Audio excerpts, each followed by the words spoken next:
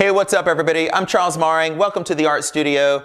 Today we're going to be talking about the Lumix S1 and S1R full-frame mirrorless cameras from Panasonic. I've got some video autofocus test here to share with you guys with the latest version of the firmware. Got some other things to talk about as well, so stay tuned.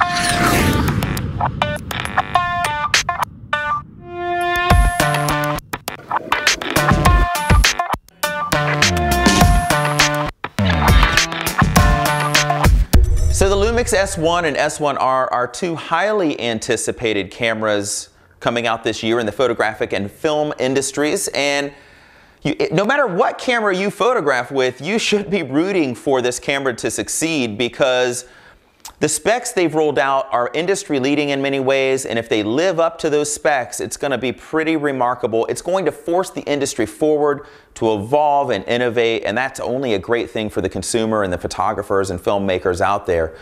Uh, with that said, I was just down in Austin, Texas, uh, for the Panasonic Lumix dealer event. Uh, I, myself and my wife, were both Lumix ambassadors. We've been shooting Lumix cameras for the longest time. And uh, we were invited down to spend a day learning about the ins and outs of the camera from those who know the science behind it. And so we got to ask a lot of questions and we asked about the AI and how that works. We, we asked about the video autofocus modes and photo autofocus modes, uh, high resolution modes and so much more. And once we learned all of those things, we actually went out to Laguna Beach for a few days and did several tests on the cameras in a little bit of a warmer climate. And in our vlogs, you'll see some of these tests come to life, and you'll certainly get to see a lot of clips on the S1 as well. I want to talk about the AI for a moment before we share these tests because I think it's very important to understand what Lumix is thinking and where they're going with their technology. And the best way to share this is probably to go through the iPhone and just show you an example of, of, of a way that they shared it with me. So let me dive in here and just get into the phone. I gotta turn it on. Great, and we'll open up the Photos app. And now let's, oh, this is my new sign, by the way. I had somebody on Etsy make it for me. Isn't that pretty cool? And it'll rust in time, just really subtle. Uh, let me get to where we're going, which is search. And if I type in the word dogs as an example, D-O-G-S, at the top, it brings up dogs, hound dogs, Eskimo dogs, St. Bernard dogs. It gets to know what kind of dog. It labels them. There's 986 dogs in general. And then uh, we go down, I'm gonna click on dogs.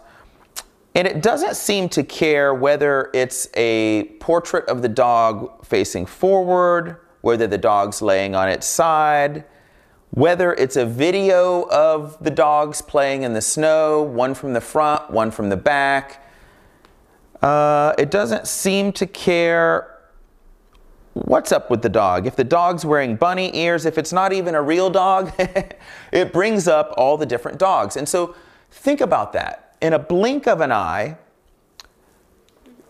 that fast, your phone has the ability to pull all of that up. Imagine that applied to autofocus, in which the camera, faster than that, because otherwise the moment's gone, it can distinguish if it's a dog, dog laying on its side, dog running away, um, multiple dogs, so on and so forth. That's pretty powerful information, and that's what they're working on putting into these camera systems via firmware updates and they have to log all of this types of information on a supercomputer and then kind of transfer it over. So that's pretty phenomenal concept. Think about the power of that. But also think of the processing power it takes and how powerful the processor is in a camera also makes a difference in how well it can perform.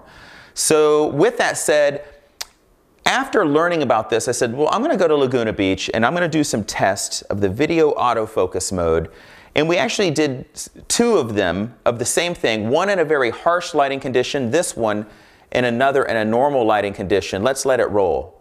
I'm testing out the video autofocus on the Lumix S1 and I am in face detection mode and I'm gonna see if it will follow our subject. I can see the box following our subject now. Jennifer, go low, see if it focuses back. And come up. Great, the box found her face, refocused. Turn and run away from the camera. And the box gets smaller and smaller until she's so far away it doesn't matter. Come back, run back in. The box appears, focuses on her face, peace sign. Focuses on her hand, take it away. Focuses on her face. And so just to be safe, we decided let's do it on a different lighting condition and see what the result would be. And so I'm going to share that one with you next. Let me go to the next one. Same test though. So we're doing some video autofocus test on the Lumix S1 to see how it performs. We're in face and eye detect mode, and there's a box around Jennifer's face now. She's completely in focus. Jennifer, why don't you run away from the camera and see what happens? So as soon as she turns, I see the box change from her face to a body detect mode until it finally gets small enough that it disappears because everything should be in focus at this point. Jennifer, run back to the camera. And right about now, the body box appears and the face box appears. She's in focus. Jennifer, disappear again. And now, as you can see, it focused to the background. But when she comes back up, the face box appears. It focuses on her face. Put a peace sign out in front. Let's see what happens. It focuses to her hand. And take that hand away. Focuses back to her face. So the DFD autofocus system for video on the Lumix S1 is definitely much improved over other systems and uh, quite impressive to say the least. Now looking at this, it did a tiny bit better in the flatter lighting conditions than it did in the very harsh and contrasty conditions, but still very acceptable in both situations.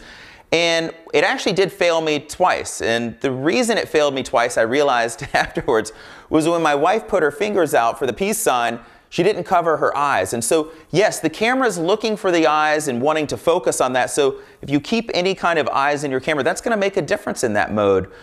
But with that said, that's our first test of the video autofocus that we're sharing here on our channel. Again, go behind the scenes of our vlog, see lots of clips that we've done with this and lots of photographs as well. Uh, we also do a high resolution mode that we did in our last vlog. We'll go into some more depth with that here in Tech Talks also because it's such an interesting feature. And with that said, that's a wrap for today. I appreciate you, everybody. Have a great one. Our channel focuses on creativity, living the dream, and a positive outlook. Subscribe and join us. Go behind the scenes via our vlog, but also learn from us via tech talks, tutorials, and reviews from the perspective of two full time artists at work.